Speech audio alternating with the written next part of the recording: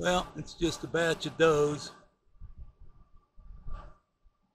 But another month, a couple of weeks go by, the bucks will be looking for them, and that's what I'll be looking for in my muzzleloader hunt.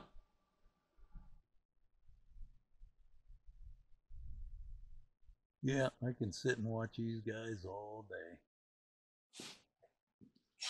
How you doing, guys? I uh got some parts today, so I've got just about everything I need to finish this. Um, as you saw, I went out calling today and uh, no dice.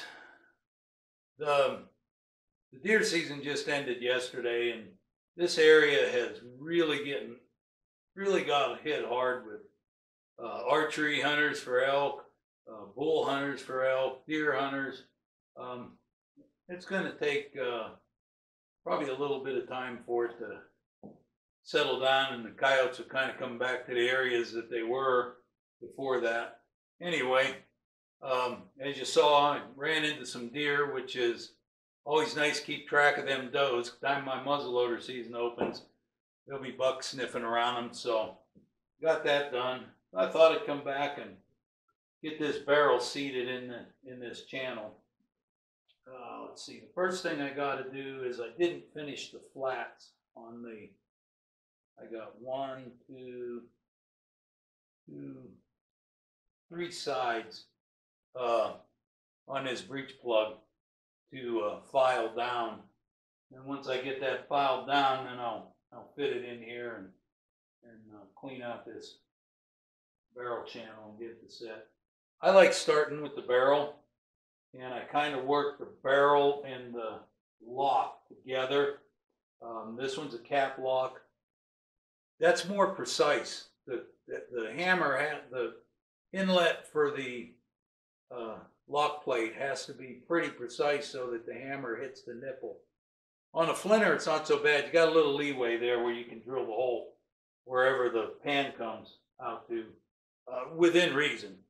So I'm going to get started on this, and this is going to be a nice gun. This is uh, going to be a 58 caliber Hawken. It's going to be a fun build, and you guys are welcome to join in while we're doing it. Anyway, I'm going to get these polished off and, and get started on it. First,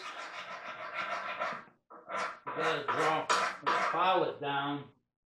It's about 30 thousandths too big. So first I file it down to where it's closer to the size of the barrel, and then I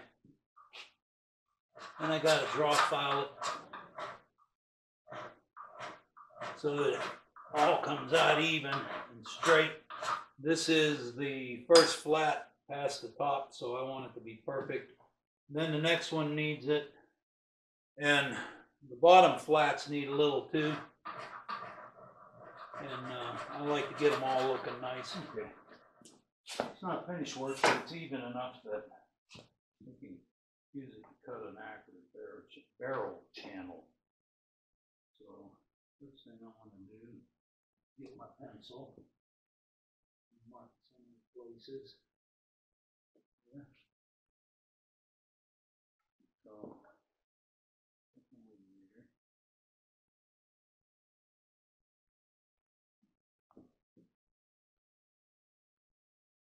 Okay.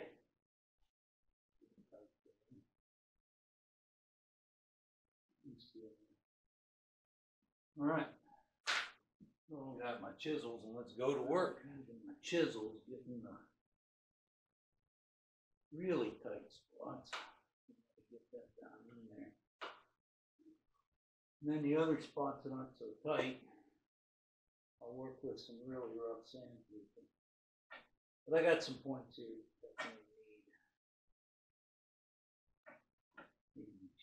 just a little.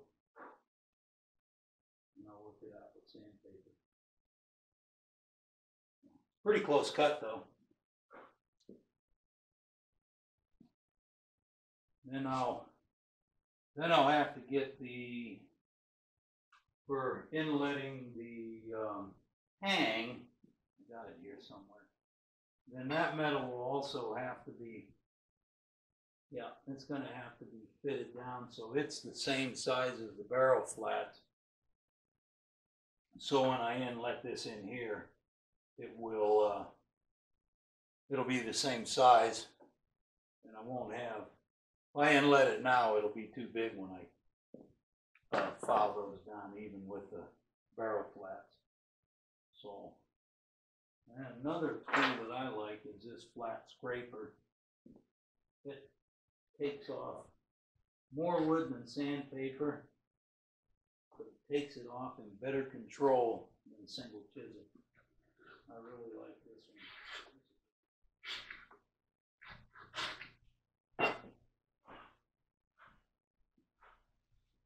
It takes a lot of shavings off quick.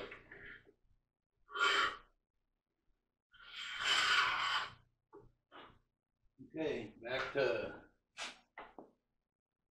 keep checking, make sure they don't go too far. Oh, yeah.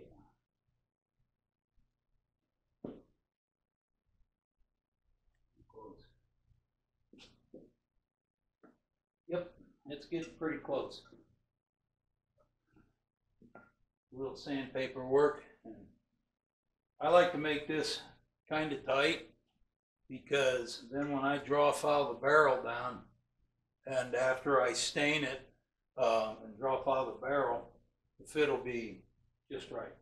I mean, not real tight. You should be able to pop it out pretty easy. See, this is still too tight. Once I get it to work. anyway, it's getting there. Squeeze down there. Uh, close. And I don't mess with the chisels too much. I'll start out with some sixty grade sandpaper and, uh, knock it down until it'll slip in there a little easier and then I'll work into a hundred grain.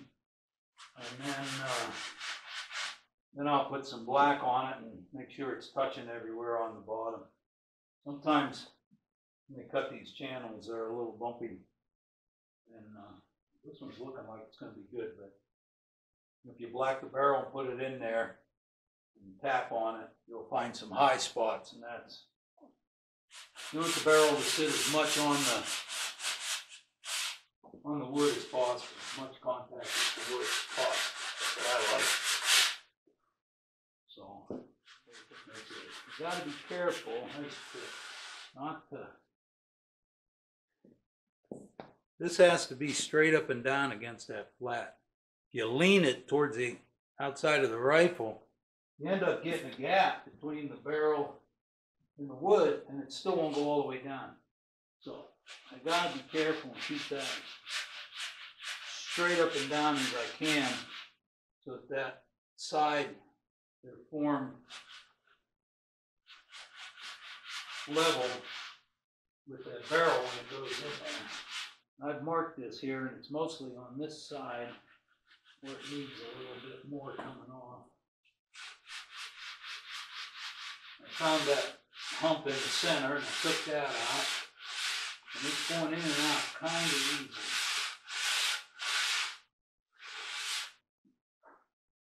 So. I gotta make sure I take my hosing flat down just a little too, so that it'll sit right in there and sit on that. That flat, this right here is really, almost just right. Just a little more, keeping it level. I go to a, I'm gonna go to the hundred here in a minute, hundred sandpaper. So it's starting to go in and out like really nice, the way I like. Yeah, it just dropped right in, it's a little tight in front. Comes out easy. And get it started, get it started straight, falls right in. And it's all the way down, it's gotta be straight though. I guess there's a little knob over here got. Falling in straight, falls in straight, it goes right down, so probably just a little tight. But a little more sanding and like I said, I like the way it comes out, it pops right out, so. just a touch more sanding and, uh, it'll be done.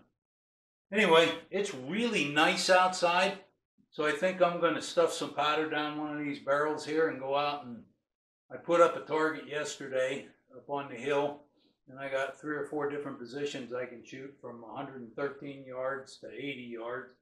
And then I got a little target out here. Uh, it's just one of them knock around targets, but the squares are about that big. It makes a pretty challenging target at 25 yards. So I think I'm gonna go out and practice with uh, my hunting gun for a little while while the weather's good.